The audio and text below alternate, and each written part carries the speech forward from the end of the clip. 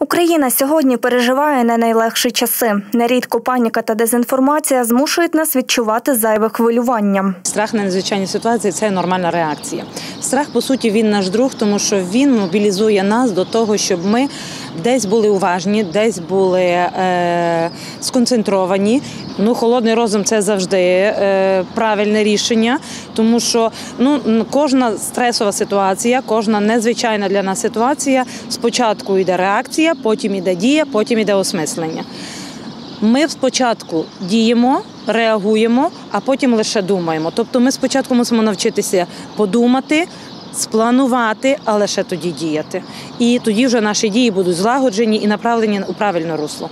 Психологи та психотерапевти радять читати тільки перевірену інформацію і не піддаватися панічним настроям. Перше не піддаватись загальній паніці і бути максимально корисними, тобто намагатися не скуповувати продукти, не знімати кошти, не ем, створювати загальну паніку, яка буде потім ще більше впливати на життя і буде ще більше впливати на тривогу, яка і так наявна. Не менш важливим є зберігати спокій, не піддаватися інформаційним провокаціям наразі основне завдання кожного. Які би події не розвивалися в житті, ми все таки маємо розробити певний план дій. Певний, певний план дій нам допоможе, по-перше, відключитися від того, що ми чуємо. По-друге, самоорганізуватися до того, що нам потрібно зробити. Яка б ситуація не склалася, якщо все-таки ми готові і десь там е, ми знаємо чітко, як ми будемо діяти, відповідно, ми спокійніше можемо себе налаштувати і спокійніше проходити оці всі етапи, які ну штучно для нас створені.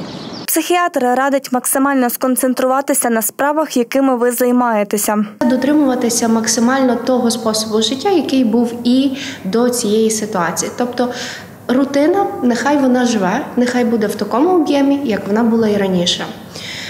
Далі дуже корисно, якщо ми сконцентровані думками на тому, що робимо в даний момент. Тобто, для того, щоб не занадто піддаватися паніці, потрібно концентрувати власні думки на буденній діяльності. Тобто, як ви п'єте чай, то ви думаєте про чай, як ви йдете на роботу, то ви думаєте про дорогу на роботу.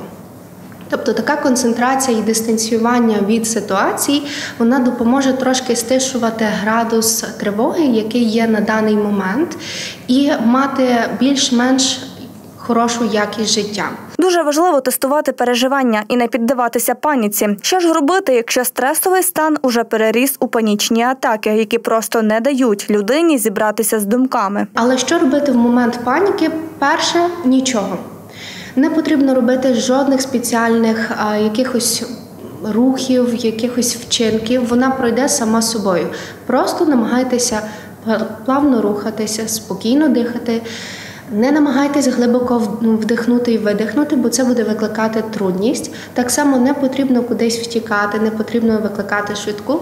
Просто зберігаємо спокій, намагаємося спокійно дихати.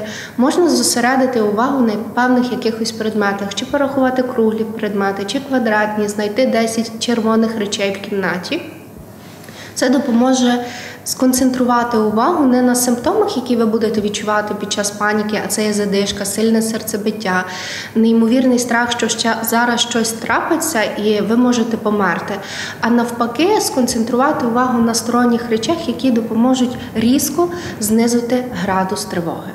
Щоб адекватно сприймати інформацію та правильно аналізувати події, що відбуваються, не забувайте фільтрувати почуте, адже кількість фейків просто вражає. Завжди треба перевіряти інформацію. Ніколи не треба довіряти одному джерелу, тому що дуже багато фейків. І е, сусідня країна, яка е, здійснює агресію, вона і наносить е, інформаційний удар по нашій психіці, по нашій свідомості. Тому дуже важливо зараз перевіряти інформацію. Тобто, якщо ви почули інформацію на одному джерелі, джерелі. Відповідно, переключіться, передивіться інше джерело, бо може бути ну інформація може бути неправдива, і швидше за все її дуже зараз багато неправдивої. Зараз ми мусимо бути всі разом. Зараз ми мусимо бути пліч-опліч, Зараз ми мусимо бути один біля одного. Сподіваємося, що ці поради стануть корисними для вас у цей нелегкий час, що переживає наша країна.